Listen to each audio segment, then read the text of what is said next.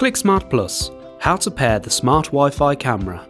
Open up the Click Smart Plus app. On the home screen, tap the Add Device button, or if you've paired devices before, press the plus button in the top right hand corner. Next, tap Smart Camera. Follow the on screen instructions. If the camera is not in pairing mode, tap Resetting Devices and follow the on screen setup. Once the camera is reset, you will hear a chime. Then press Continue. Once the indicator is blinking, tap to confirm and press Next. Select the network you wish your smart camera to be connected to and enter the Wi-Fi password. A large QR code will appear. Hold this up to the camera's lens and scan the QR code from 15 to 20 centimeters away. The camera will make a sound when it scans the QR code. Once it's done this, tap I heard a prompt. The app will now add the smart camera to your account. This may take a few minutes. The smart camera has been successfully added.